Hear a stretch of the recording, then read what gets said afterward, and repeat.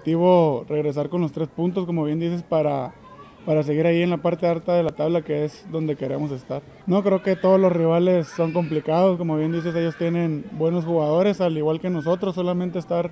atentos, concentrados y a darle con todo. No, contento y, pleno, como les digo, creo que, que, se nota dentro de la cancha y, y, desde mi primera etapa aquí creo que me fue muy bien, fui, fui muy feliz y creo que lo estamos repitiendo. Primero yo trato de, de, hacer todo lo que me toque en la cancha, sea mucho o poco, hacerlo bien, de buena manera, al, al 100%, entregarme al, al, equipo y creo que lo demás eh, llega por, por consecuencia de, creo que siempre he tratado de estar concentrado, atento, con ganas y, y transmitírselo a, a, mis compañeros también para,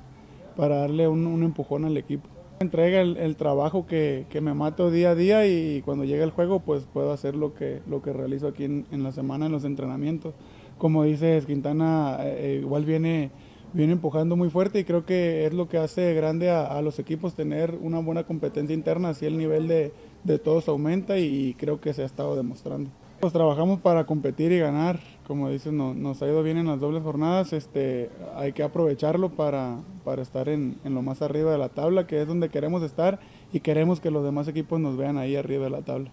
Yo trabajo y me entrego el día a día, yo creo que todos soñamos con, con ir a la selección de, de su país, claro que, que quisiera ir, que, que me pondría muy, muy feliz, pero creo que yo hago mi parte y Dios hace el suyo, creo que la voluntad de Dios es perfecta.